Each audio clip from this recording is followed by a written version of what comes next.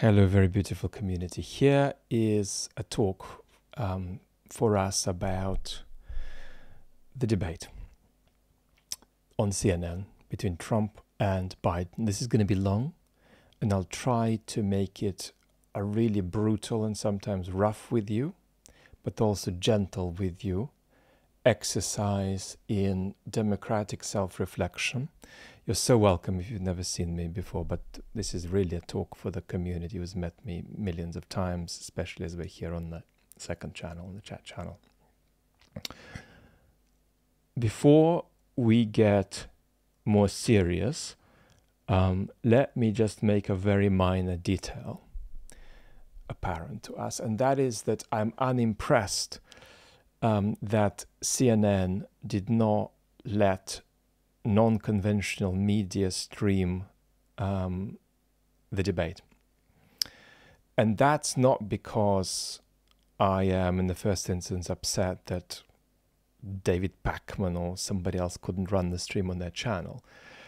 It's because we live in a crisis of derivative consumption. We're increasingly consuming not events, but reactions to events and reactions to reactions to events. And that step of not letting it be streamed is not going to make people watch the debate more than is actually going to make people watch the commentaries without watching the debate. Um, in this particular context, people who don't see the debate at all will probably be spared if they support Biden but that's another point to which we will get. Historically, you know my background on um, Trump in US politics. I felt Trump would win in 2016, but I felt it was close to 50 50. My recent remarks over the last couple of years have um, pointed to a Trump victory in 2024 and I sometimes say it's 50 50 edging to Trump. Sometimes I'd say it's 70% in favor of Trump. Using percentages not as real probabilities, but as psychological clues about roughly where we stand. Obviously, this debate made a contribution we shouldn't overestimate to how people are going to vote, but insofar as it made a minor contribution, it's going to be, as we will see, in Trump's favor. Trump is a post truth authoritarian in the sense that, not in the sense that he wants to be a dictator and he fantasizes about being a dictator, although he has some such fantasies, but in the sense that he is a guy out to break the democratic game. So I do have a clear recommendation here, and that is that there are plenty of excellent conservatives, if you want to vote for a conservative, who you may be outraged by if you're in a different place in the political spectrum, but they're conservatives who are constitutionally support the democratic game. They're not part of this crisis of conservatism. There are crises in the middle and crises in the center left. But the crisis on the right is a crisis of people on the right stopping being people on the right while remaining in the clothes of people in the right. So people are in the clothes of constitutional conservatives who are drifting toward the sensibilities of Viktor Orban. Trump's one of those him being elected is damaging for US institutions.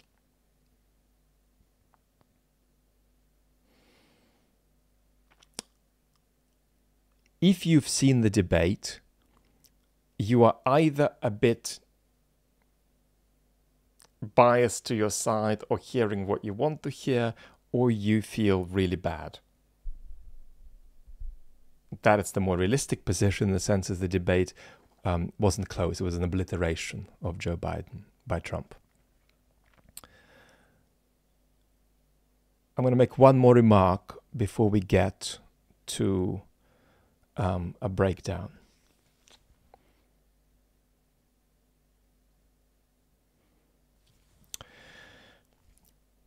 The format itself is highly damaging to democracy.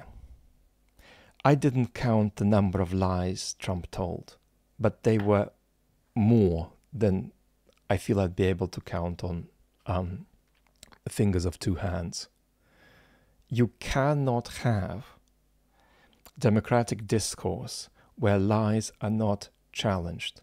It's not okay. And the reason we're doing it is because we're not used to post truth politicians. Our democratic, our journalistic institutions are proceeding as though it's 1998. And politicians lie from time to time. Well, that's not the reality. We have now entrepreneurial politicians who lie a heck of a lot of the time, if not all the time. And then you've got post truth politicians who don't just lie, but they try to um, disrupt the very distinction between truth and lies by letting go of the idea that even their lies should be coherent. That toxic post truth politics doesn't have an answer from journalistic institutions. So, what we've got is a dynamic in which Trump told a, an endless number of lies, but we do not have an institutional approach to how to handle it. We don't even have views about uh, how to handle it. And CNN does not have answers to my questions here. Right? There are no answers about what the protocol should be about all the lies, except perhaps that it just shake out in the aftermath of the debate. And I'm saying you can't do that. If you've got a situation where routinely politicians tell 30 lies per hour and they're not being challenged, something is wrong with the media formats we have. They need to be reformed. If I were a US citizen and if I were a political animal in the sense of wanting to be a politician, and I'm a political animal in a very different way. I have no skills um, towards active political participation in the sense of leadership.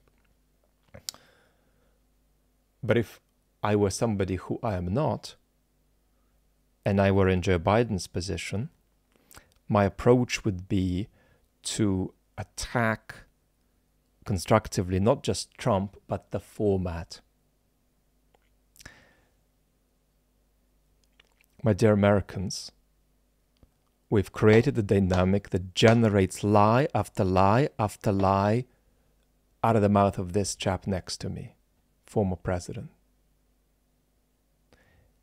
And here are three examples, because I have 17, but I'm going to give three about the lies he just told and you've asked me a question, I'm not going to answer it.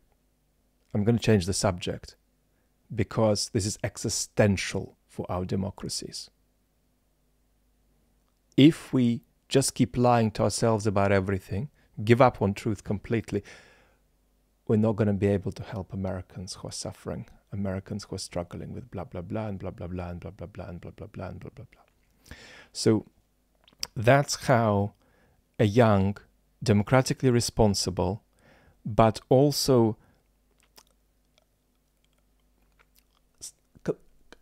minorly and constructively populist politician would have handled this right? You you had to push back against the format in order to push back against Trump because the format was set up to allow Trump and this is not how we did this debate this is that our media has no answers to post truth politics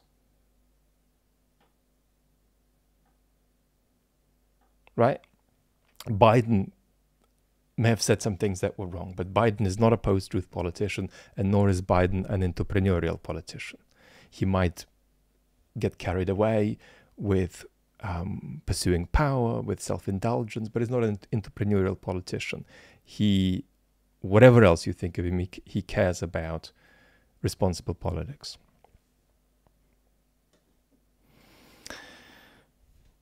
That rant being over, let's get going. And this is going to be just porridge. Um, and um, you're going to bear with me, but in exchange, I'm going to try to hold you through by being gentle on you, but also telling you off about things. Now, if you feel bad, I think we need to realize that politics has ups and downs. the situations are fluid, that things that we feel catastrophic about are most of the time not catastrophic, they're just really bad. They're catastrophic for some people, but they're not cumulatively catastrophic for uh, the world or a whole country.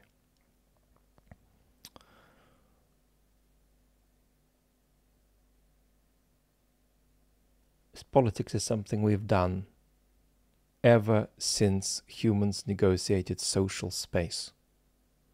Because what happened was that when humans began to negotiate social space, they had conflict and they began to ask questions how do we resolve this conflict beyond just saying, I want this, and you saying, I want that? Is there any sense of fairness, procedure, um, me asking something that's reasonable and me asking something that's unreasonable in a way we can both agree on, right?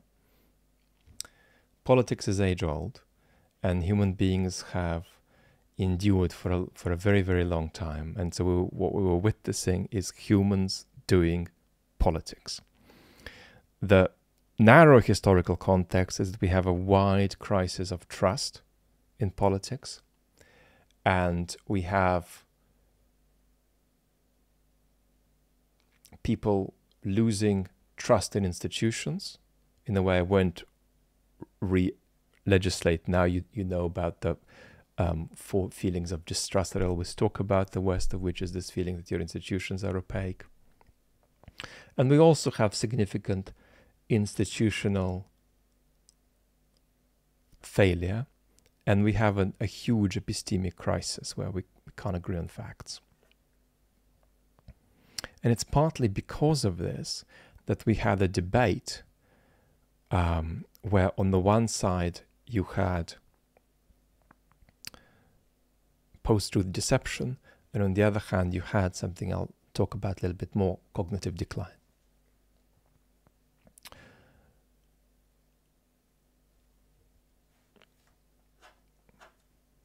If the political system were institutionally healthier, neither of these candidates would be there. Biden would be there if he were eight years younger, but in his current condition, he wouldn't be there.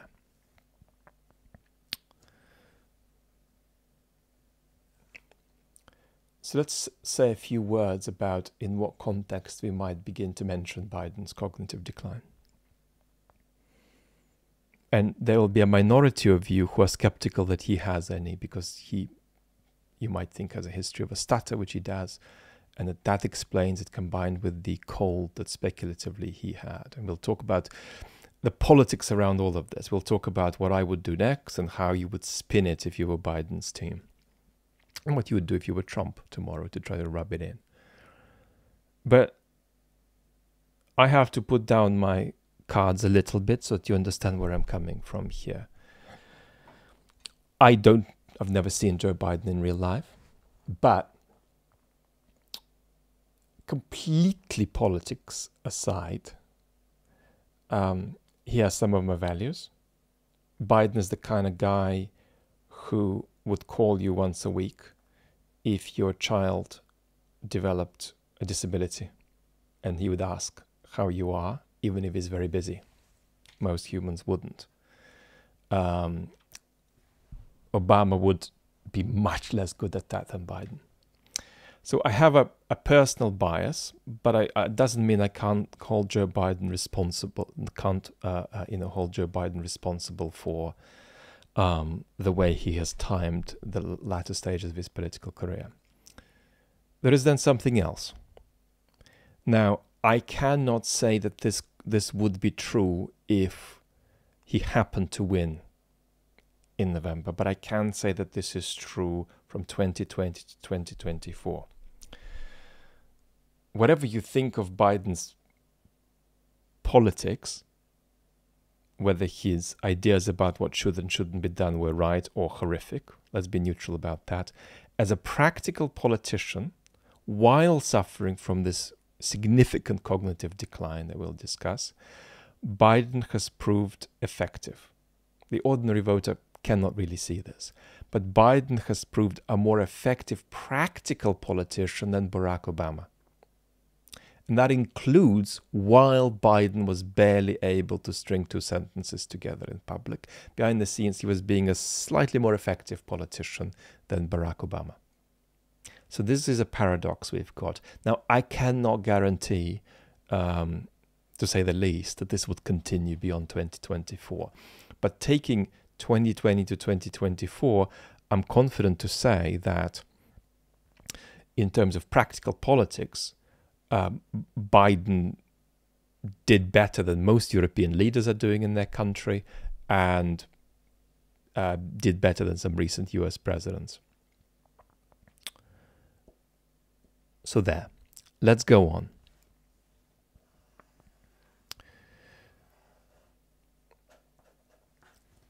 No, let's go on sharing more about my uh, my my own prejudices. So I felt that it was a couple of years too late for Biden to run in 2020. I felt Biden would have beaten Trump in 2016. I still feel he would have beaten Trump in 2016. But I felt that Biden would lose in 2020 if the public health crisis hadn't happened globally. And Trump's mishandling of this created a, a window of opportunity. But as Biden entered the race, I was very concerned that he was far from the most plausible candidate to put out there to beat Trump. And I feel Biden gambled with the nation because of confidence in his own powers and a thirst for power. His confidence in his own powers, paradoxically, for all the things we will say about his cognitive decline, was accurate. He really thought, hey guys, I'm really good at this. I'm good at practical politics. But he also felt that he just needed to do the, to do this in such a way that it wasn't available to him to say, the timing has gone against me. I'm going to step aside. So the way we analyze 2020 is up for grabs, but I think that Biden lucked out in not letting his party and the country down and actually being able to win. If Biden had come to me um, at the beginning of his first term, I would say, for the love of everything beautiful, do not run for the second term. But it's so late in the game now. If Biden steps down, will a Democrat step in and we'll talk in more detail about this at the end. So this is not what we're going to focus on right now. We'll just mention it briefly. Will a Democrat who steps in beat Trump this late? Right? And that is an enormous jump because it is enormously procedurally difficult for Biden to be um, sidelined now. And of course, is there a realistic chance of Biden stepping down? I believe not. But I think it's possible if the manifestations of cognitive decline continue to dramatize. If they asked me the following question look, we've found a way of making it work, Biden has agreed to it if he's persuasively told that it's the right decision. Would you recommend him to step down, or would you say it's now so late that he shouldn't? And my answer would be if Kamala Harris were to replace Biden, he should not step down. Um, because Kamala Harris would overwhelmingly likely lose to Trump. Um, but if somebody could replace him who isn't Kamala Harris, even today, I would recommend, for all the enormous difficulty of this, that um, Biden um, let go of the second term. This is not realistic. Unless some more things happen which haven't happened yet, I do not believe this is a realistic scenario. But if in virtue of some magical machination, one of five or six people were parachuted in. We're purely talking about defeating Trump here. We're not talking about what we think of these different candidates. But let's say if you parachuted in Gavin Newsom, I'd say go for it.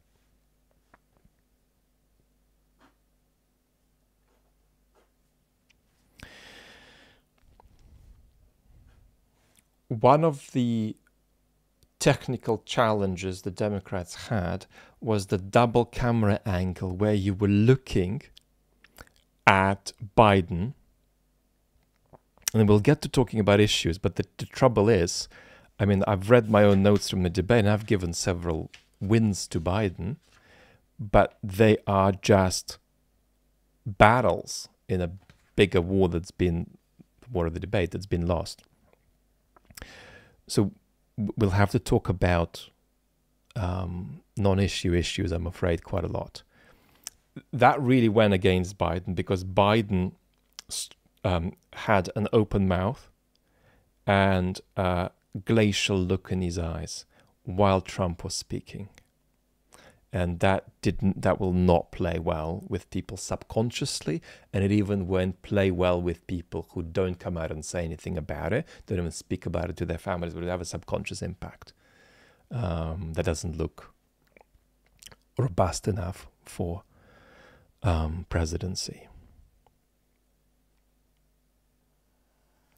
Weirdly cutting the mic worked better for trump.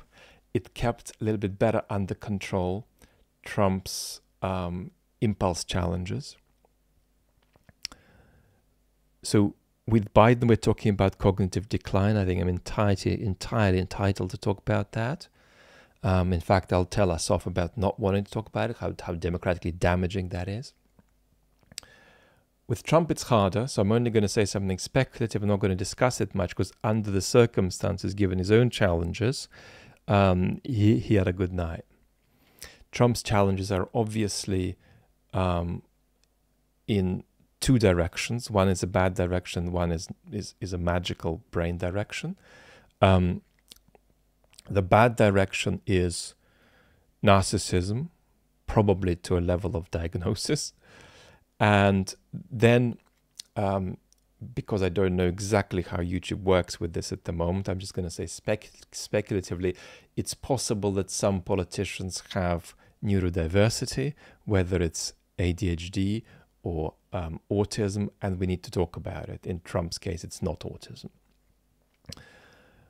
Now, ethically, there is a challenge about talking peop- about people's neurodiversity.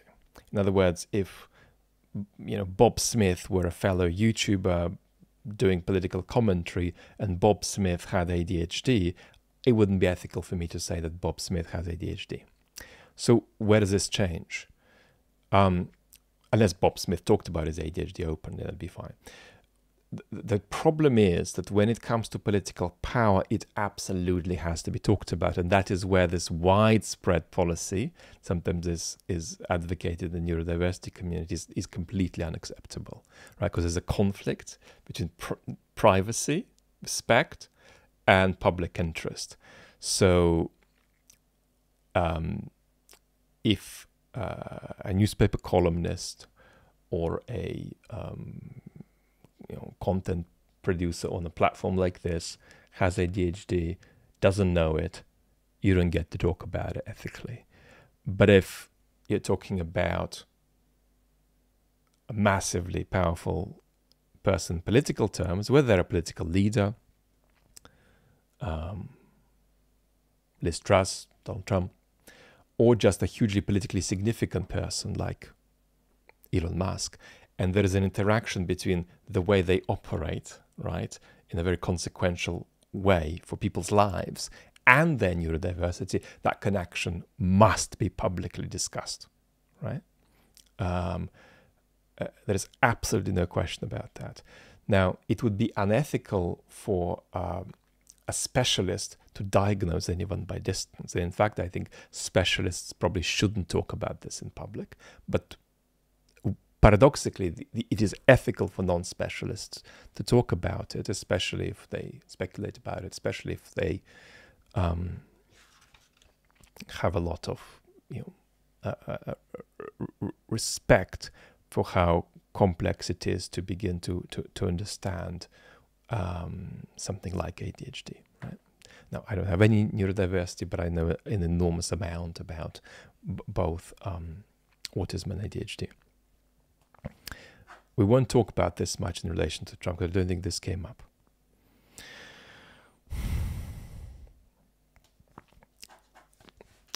Cognitive decline before we talk about some issues. Now, for a couple of years of my life, I couldn't talk or read or walk for that matter, but that's a separate issue. And little by little, I began to read. So I have myalgic encephalomyelitis. I was you know, severe. Now I'm volatile, but I'm not severe, moderate. And um, I know so well what it's like when your brain's not working properly, right? In most of the chats that you're with me for, my brain's not working properly. Because if you go to the Vlad before illness, everything would be much more condensed, concise. There wouldn't be points going like this. And I'd be able to say, here are four things we need to understand, here are seven things we need to understand, and I'll evenly land on all within 15 minutes. Um, I don't dare do that. That would be a cognitively implausible bungee jump for me. So, as um, articulate in some ways as I sound, when I'm talking to you on the chat channel, 70% of my, of my energy still goes on making sure my brain keeps ticking over rather than on the topic we're discussing. I'm there, I'm present, you can see that, but that's because I've learned how to be present while also um, playing these machinations in my head where if a certain connection isn't working, I find an alternative way to get there. So you're always sort of, you know, cycling whilst trying to stop the wheels from falling off. So that creates great empathy for me. Now, there are two looks in Joe Biden's eyes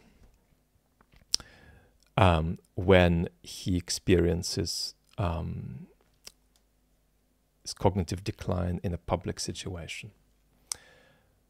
It's the look of fear and it's the look of arrogance. And it's not the terrible arrogance. I can tell you exactly what kind of arrogance it is it's the arrogance of somebody who has been through so much practical politics that they feel, you know what, even me at 60%, I can do this. Yeah, I might struggle to string a sentence, but I can do this. And what's more, looking at 2020 to 2024, in terms of behind the closed door practical politics, Biden is right about that. He is genuinely one of the most, in that period, one of the most effective politicians in the world, whether you like his politics or not.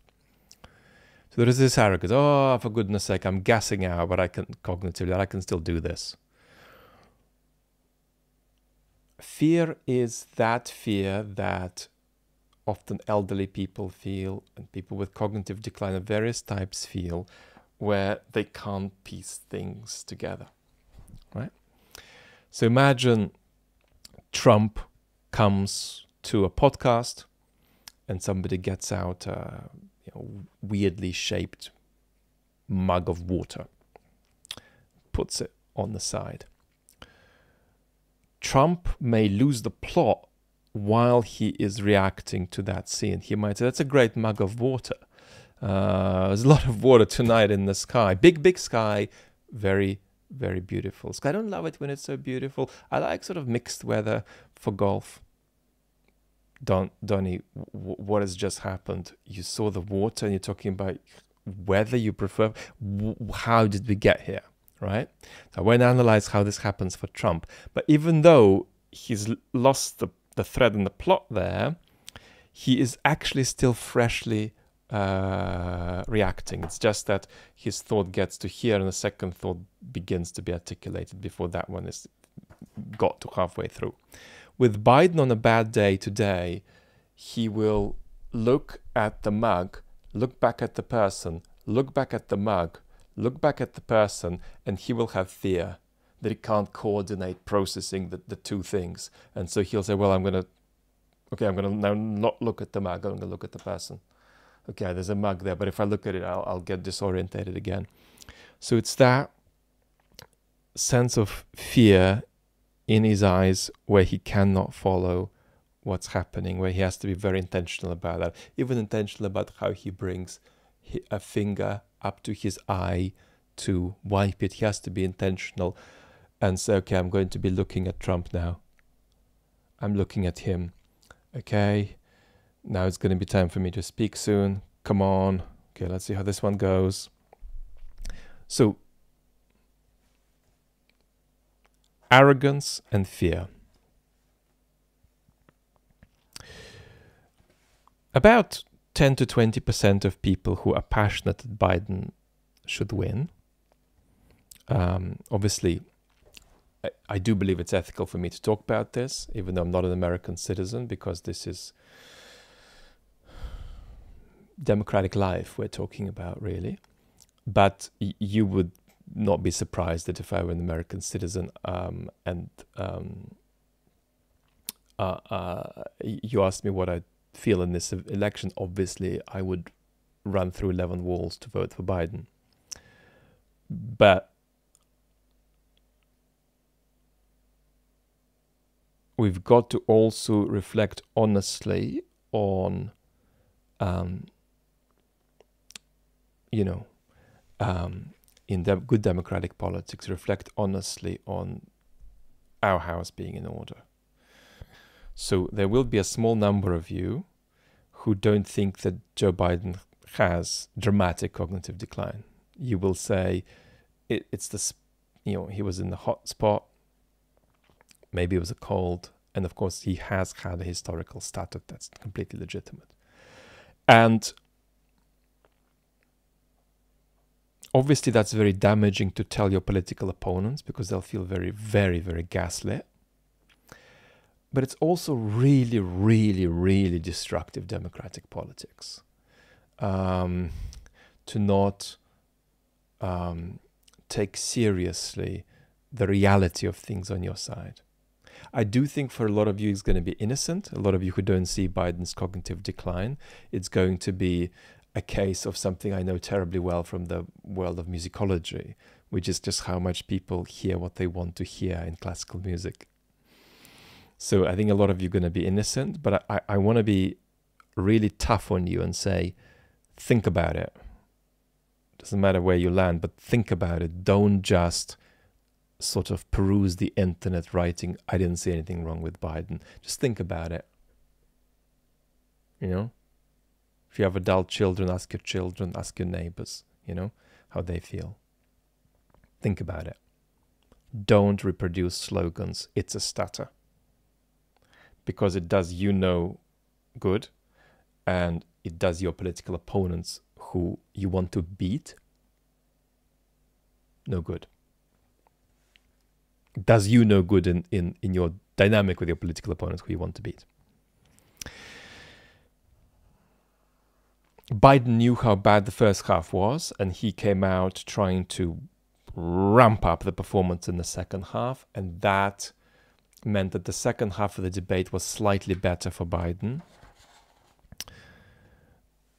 In the first hour of the debate, Biden fell to as low as 20% odds of retaining the presidency on Betfair, um, which is one of the major platforms for this sort of stuff. Um, as the debate went on, Biden climbed back up a little bit to about 25%. Biden did do better um, beyond the first half of the debate, particularly beyond the first half hour.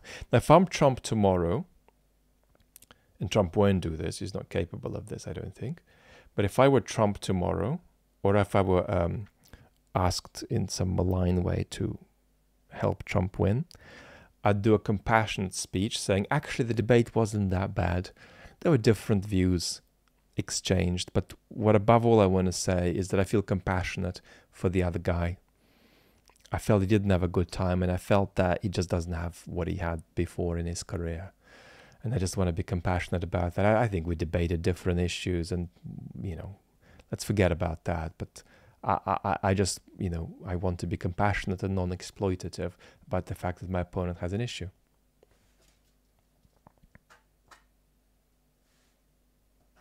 luckily, Trump won't do that.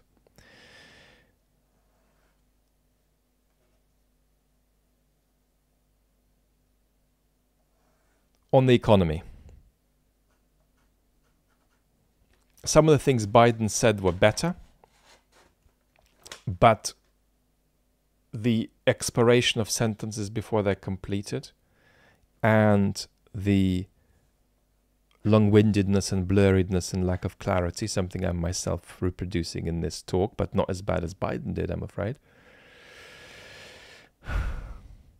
Probably even things out, edging toward Trump until um, the first catastrophic uh, brain glitch that Biden had.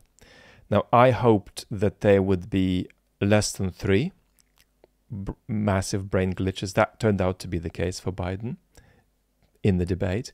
But in between the glitches, the, the performance was really poor.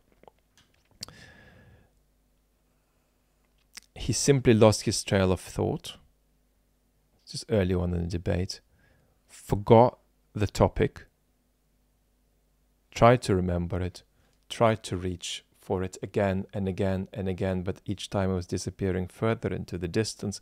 And then he said, We beat Medicare. And as, as he said, I think either that or some other thing that didn't go down well, Trump smirked with, with satisfaction that this was going his way.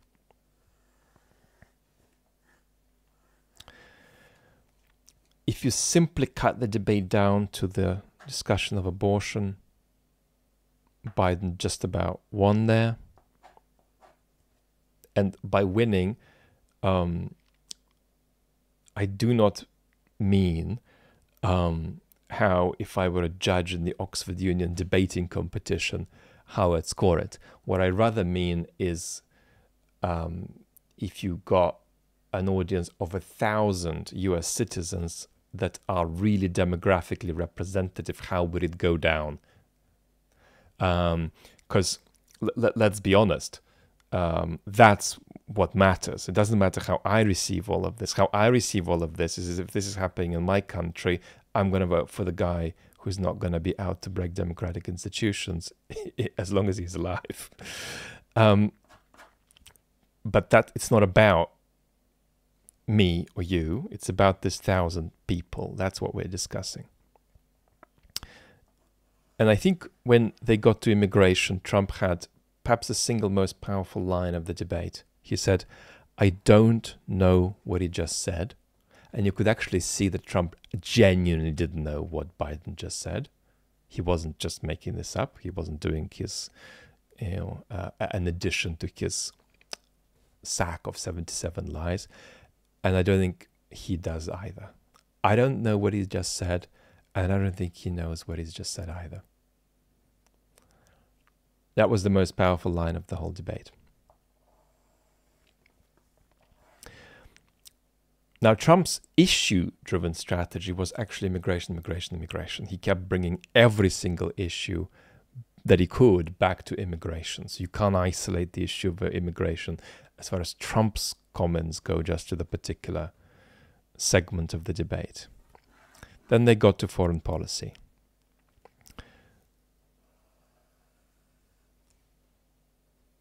Biden said what uh, Trump said what he usually says. Putin would have never invaded, um, and some other populist talking points. And Biden began to make a good point. About Putin and the security threat that Putin presents. Unfortunately, he got Trump and Putin confused, and that point didn't land. He said Trump when he meant Putin, and then Putin when he meant Putin, but then again, I think Trump when he meant. At least once, possibly twice, he said, I, I believe, Trump in, when he meant Putin. And that's fairly obvious. I got that. But that made the point not land. Who invaded what? How? Trump invaded? What? What? So that, that didn't work. Trump said Putin's terms were not acceptable. Biden said Putin won't stop. And began to elaborate on that point, and again, his words petered out. Biden's most powerful gambit here is he said, Do you want to pull out of NATO? Trump wants to pull out of NATO. And he looked at Trump, and that was a very powerful point, somewhat diminished by the fact that Trump, that Biden, as he turned to Trump, had to focus on his own posture, his own eyes, his own gesticulation, that he was trying to keep that under control because balancing all of that is hard for him.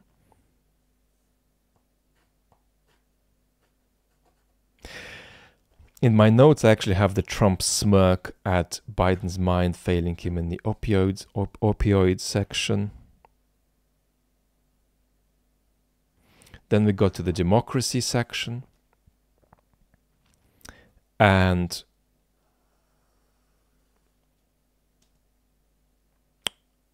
again, in isolation, Trump lost that maybe depends on how you cut that section. Um, but his defense of January 6th, you know, if you're a serious Trump campaign person, that defense of January 6th was selfishly counterproductive for Trump. Which is absolutely insane given that he's already winning the debate to do that.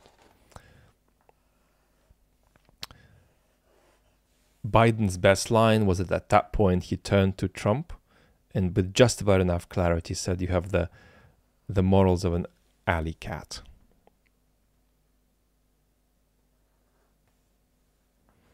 Then Trump delivered his second most powerful line He's not equipped to be president. You know it, and I know it.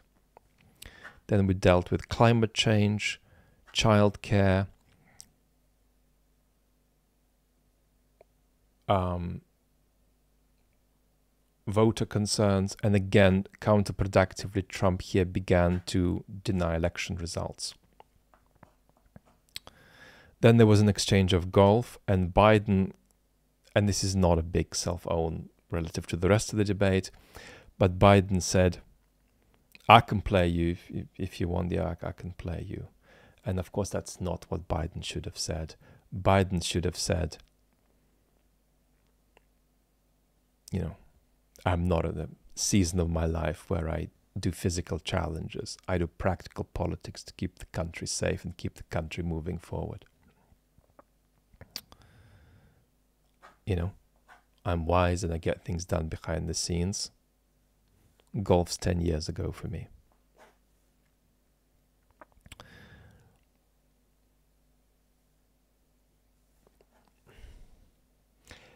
this is a catch 22. It's very sad that the Democratic Party is presenting Biden to us in this in this state in the middle of a democratic crisis. But democratic crisis isn't crisis of democracy, not crisis of the party.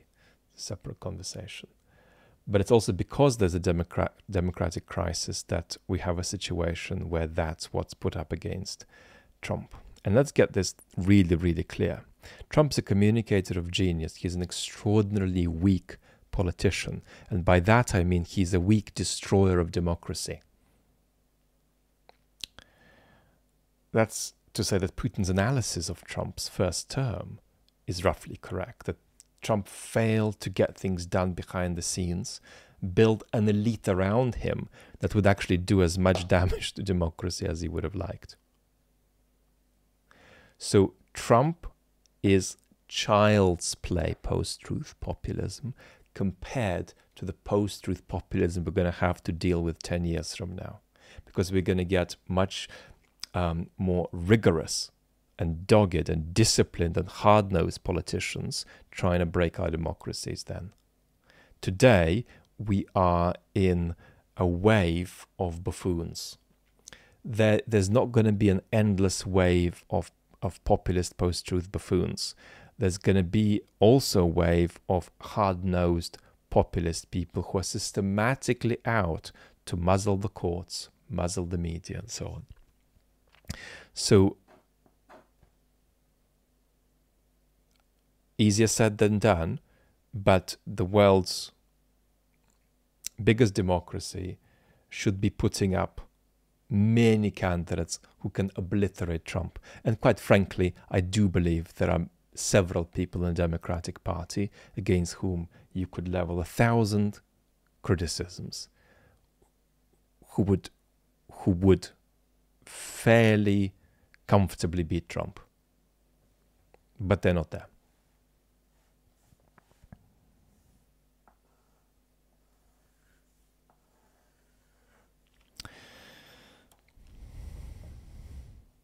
I do think that there's going to be a lot of panic in the Democratic Party now. There's already panic. There should have been more panic before because this performance was not a surprise. But now there is going to be this conversation also about what it means, not just for now, but for 2027. Because the Biden of 2016 wasn't the Biden of 2012. The Biden of 2020 wasn't the Biden of 2016. And the Biden of 2024 is not the Biden of 2020. So where are we going to be three years from now? If you want Biden um, at the very end of being near his best, watch his speech for Hillary Clinton in 2016, which ends with, We are America. We own the finish line that was still Biden at his best. It was actually one of the best political speeches in recent American history. How do the Dems turn it around? Well, I can tell you what they're going to do, and it's going to be terrible. They are going to say that Biden won. And in fact, as I'm taping this, I bet they're saying this. And they're not going to say that anything is wrong and they're going to say Trump's a terrible liar and Biden won. And we're back to gaslighting citizens, gaslighting your political opponents.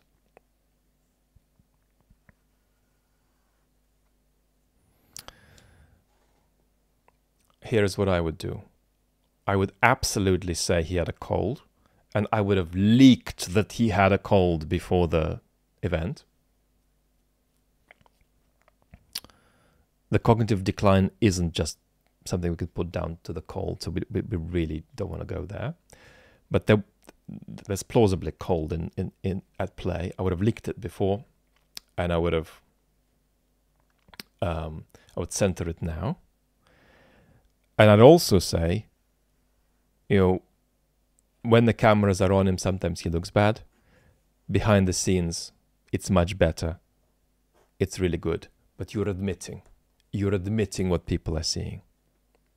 I'd mention the stutter, but I wouldn't put it down to the stutter. And I'd mention cognitive decline without using these terms.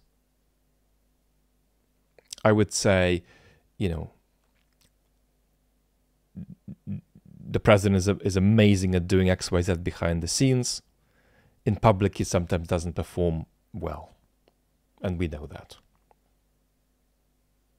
and I would get others, not Biden, out there to get to defend his performance in that way of conceding the reality, but then emphasizing that we've got a post-truth populist and that Biden's effective behind the scenes.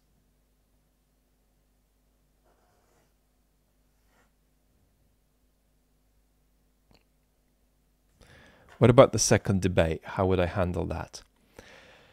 Obviously, I would not want the second debate to happen, but it would have to happen. So, um,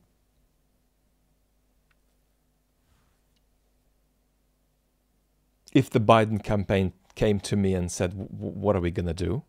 Um, do you have any tips for the second debate?" If uh, Jen O'Malley, Dillon, or somebody came to me and said, "Look, what are we going to do?" I would say Biden has to stop being arrogant about operating within his cognitive limits. So, if you can't run a mile, run 200 meters in how you speak. Right? I mean, I've adjusted my own speech since my, um, you know, um, neurological illness. And I regularly fail to adjust my own speech well, right? So I've got to be speaking about this with humility. A good example is um, a, a, recent visit to the lovely Jake Broe with um, Anna from Ukraine and John from Silicon Curtain. Um, if you happen to have seen this, think of how, and you remember all all of us there. In the first 10, 15 minutes, I was very dialogical. Hey guys, good to be here. Nice. And then I became lectury and that's because my, my, my physical symptoms actually got worse, not just not just my cognitive symptoms, but uh, uh, my, my, my health got worse, and I became less able to be interactive, and I was a little bit more in my own bubble, too much. So I constantly mishandle my health and how I communicate. I always try to do better. I always learn. And one thing I'm very grateful for is that I never feel pain when I, you know, um, communicate in a way that very much lets down the important thing I want to communicate um, because I, I, do a bad job. I feel I feel no pain about that ever. Um, I remember once I presented a chapter, I think for my PhDs almost 20 years ago, and it was one of my first sort of times out in, in the real world, as it were, after being neurologically and physically knocked out and I simply couldn't defend um, the philosophical account I'd given in that presentation in a way that you know would have taken me no effort at all before the illness. Um, I needed to say things like, "I'm going to take a day to get back to you on this." And at the time, I was also just a kid, still in my in my if this is what twenty, I was still in my twenties. So, you know, that was incredibly painful to me for 24 hours. Then I got over myself. Um, and I feel no pain now, but I always screw it up. But what I do do is I try to adjust. I never say, um, here are seven points I want to make, and then on minute 12 I arrive at the second, seventh point. So Biden needs to contract this. He needs to speak in smaller sections. He needs to stop trying to remember three things at the same time. And he needs to say, you know what, this big point I can't make, I'm going to make a smaller point instead. And he doesn't do that. He, he somewhat arrogantly still just slides out there. And then we realize that, you know, his car is not set up for the, for the terrain he's in. And he just gets stuck. And he says, oops, I got stuck. No, Joe, you have to now realize that there's certain terrain you can't go into with the vehicle you have. And I'm sure I could have 20 tips for him about how to do that, but that's the direction in which I would go. But the messaging now from the Dems, you know, if you're going to be politically strategic, should be actually yes, Biden had a a bad night, but he's an effective he's an effective leader, and um, I'd frame it like this: because Biden had a bad night, he wasn't able to address Trump's endless lies as effectively as he would have liked. That would be my, my message. But you can't say that Biden won because that is democratically unconstructive. Now, I don't think I have much confidence that I've balanced this in a way that helps you enough. But um, maybe you've got something out of this breakdown. Um, thank you so much for being with me. And again, this is worth saying, even though you've heard me say it a million times. And the point is that I, I want you to hear me say it a million times. From the point of view of the climate crisis, it's bad, but it's not the end of the world if Trump wins. From the point of view of Ukraine and Western security, it's really bad if Trump wins, but it's not as bad as the most catastrophic predictions about the consequence of Trump winning, partly because Trump will be significantly co opted, a bit less because he's now wanting to get around this in a way he didn't have the skills for at the beginning, but he still doesn't have the skills for it. So Trump will be really bad news for Ukraine, but it won't be as bad news. No, I can't say that. The reasonable expectation is that Trump will not be as bad news for Ukraine as the worst case predictions. And on democracy, it's bad, but it's not a reasonable expectation to think that Trump will break or end US democracy. US democracy is the sickest major democracy in the world, but it is one of the most institutionally resilient. Right? It's a sick but great democracy. So, what we want to do is acknowledge crisis, but not make it apocalyptic. Acknowledge crisis, but not make it terminal right? So we're out. I'm so sorry, I'm doing this again. We're out in the open water. It's patchy, it's wobbly. Things are going to fly off our boats. A couple of people could even fall off. There's going to be structural damage, but the boat is not going to be at the bottom of the sea. It just won't. So it's very important to keep that perspective that crisis is not collapse. And of course, there's still a reasonable possibility, because politics is politics, that Biden wins in 2024. But from where we sit now, at the level of expectations and setting expectations, um, Trump is not a marginal but a strong, strong favorite um, in in November. And um, I know there's going to be a lot of people who feel that that's nonsense, that Biden is overwhelmingly the favorite. And all I can say to you is I'm, I'm going to be here for you, you know, after November if it's not the outcome that um, you want, if it's a destructive outcome for US democracy. Um, not that Biden would be a constructive outcome for US democracy, it's just a much better outcome. The trouble we've got with democratic decline is because it's so socially systemic, almost anything any politician does risks causing more decline in trust. Um, so it's a very difficult challenge. It's almost like putting something through the eye of a needle, how to do politics without that trust continuing to drop, drop, drop, drop, drop, drop, drop uh, because we're almost in a dynamic where you do the right thing, it drops, you do the wrong thing, it drops, you do something else, it drops, you do nothing, it drops. I don't believe it always has to drop, and I certainly don't believe that we have no influence over this. I think we can dramatically slow that um, democratic deterioration. And uh, a lot is up to us, and don't, we don't want to turn into a depoliticized blob here. Um, forgive me if I haven't given you enough or have given so much that none of it is of value. But I, I, I, I, I um, as Jack Nicholson said, at least I tried. Lots and lots of love till next time.